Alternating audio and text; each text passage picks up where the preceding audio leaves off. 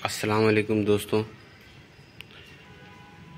दोस्तों, आज हम बात करेंगे डी फ्रीज़र के बारे में,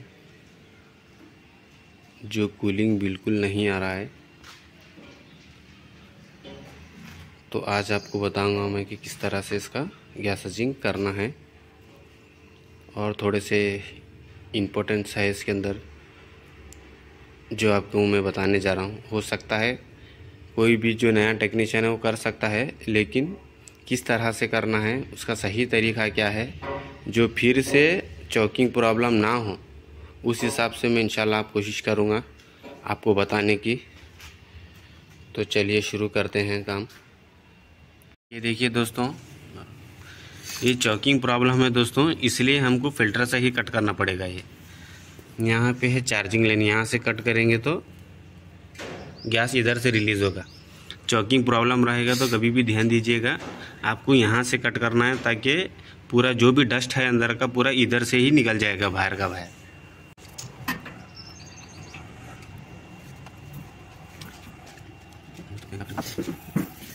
देखिए दोस्तों, और गैस का भी ध्यान देना चाहिए दोस्तों, क्योंकि गैस कितना निकल रहा है। इंपॉर्टेंट यही है इसमें कि गैस पूरा निकलना चाहिए, वरना लीक का चांसेस हो सकता है, क्योंकि ये डीएफ है।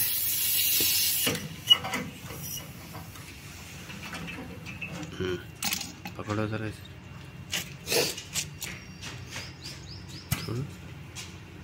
हम्म, निकल रहा है चौकिंग प्रॉब्लम की वजह से दोस्तों ज़्यादा प्रेशर से नहीं आ रहा है। हाथ लगाने से मालूम हो रहा है कि गैस अच्छा रिलीज़ हो रहा है इसके अंदर।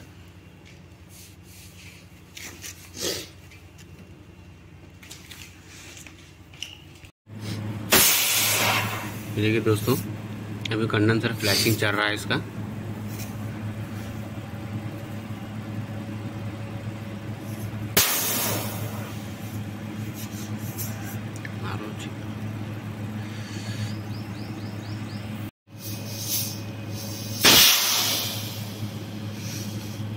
ये तो फाइनली साफ़ हो चुका है दोस्तों।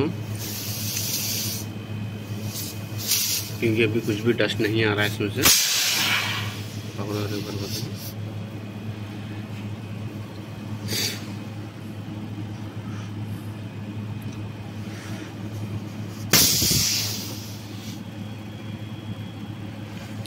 साफ़ हो चुका है इसको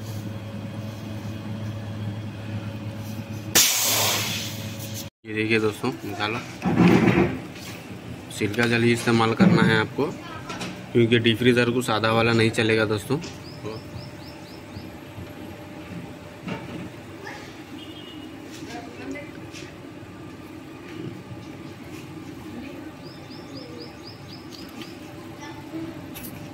आराम से करो। लाइन बिड़ ना जाएगा तो फिर।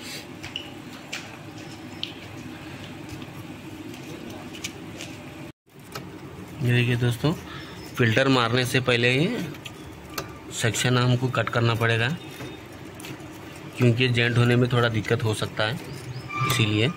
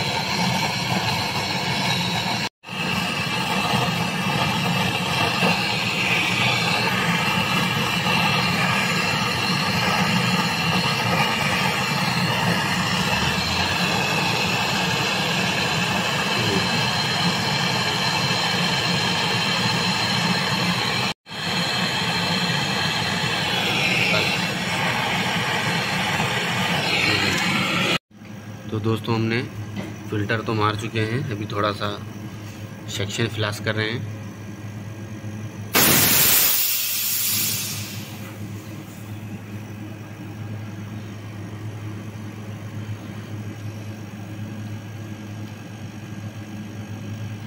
थोड़ा बहुत भी एल रहेगा ना दोस्तों इसमें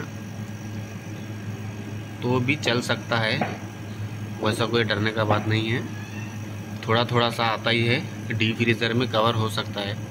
कोई टेंशन नहीं है।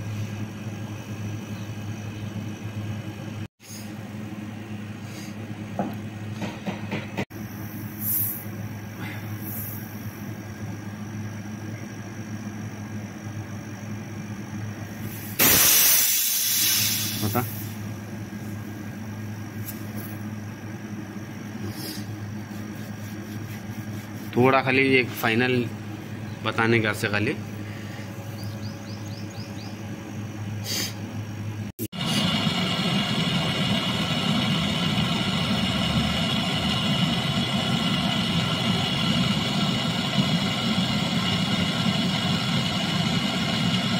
सेक्शन मारा है दोस्तों अभी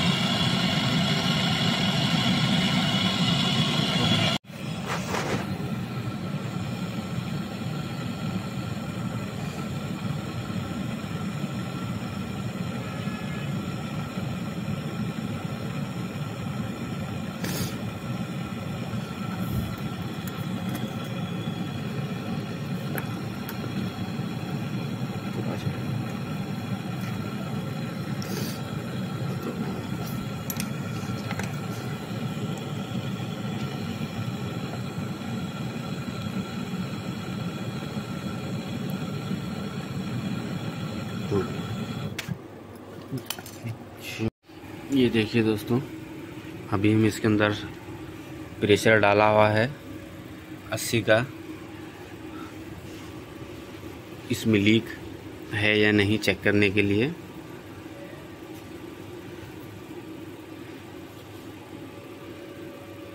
देखिए दोस्तों,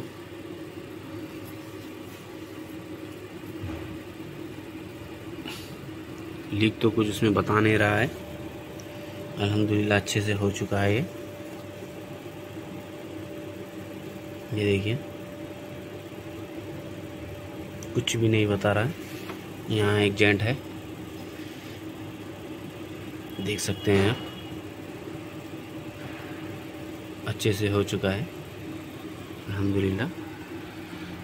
ये देखिए दोस्तों, फाइनली हमने इसको वैक्यूम पे लगाया हुआ है अभी। देख सकते हैं आप। चल अभी क्या है इसको? दस मिनट हम वैक्यूम लगाएँगे इसको और दस मिनट के बाद इंशाल्लाह गैस मारेंगे इसमें। तो दोस्तों, आपको इसमें ध्यान दे के काम करना है क्योंकि वायरिंग बहुत ज़्यादा होता है इसमें। थोड़ा सा रिक्सी होता है। आप अपने हिसाब से कीजिए। ये देखिए दोस्तों, अभी हम इसको गैस मारने जा रहे हैं। वैक्यूम हो चुका है अच्छे से। ये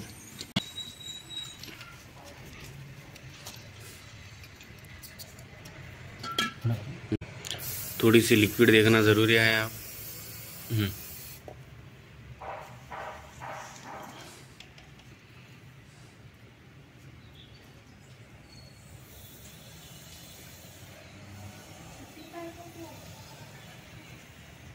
बस।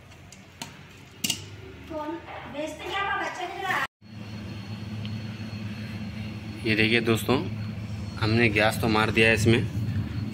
अभी ये देखिए, अभी तो हमने जस्ट मारा हुआ है। लाइन तो कुछ नज़र नहीं आ रहा है इसका।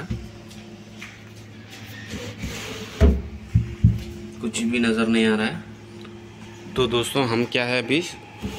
उसको एक घंटा रन करेंगे, उसके बाद चेक करेंगे कितना लाइन आ रहा है और कितना नहीं। ये देखिए दोस्तों, पूरा कूलिंग आ चुका है। डीएफ में हमारे, देख सकते हैं आप।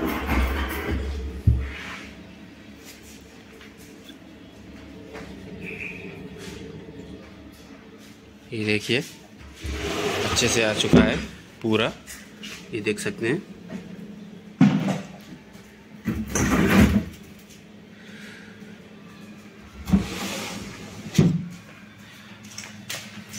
और ये देखिए, यहाँ पे थोड़ा सा आइस नज़र आ रहा है दोस्तों, क्योंकि हमको भी इंसोलेशन लगाना बाकी है। वहाँ पे इंसोलेशन है।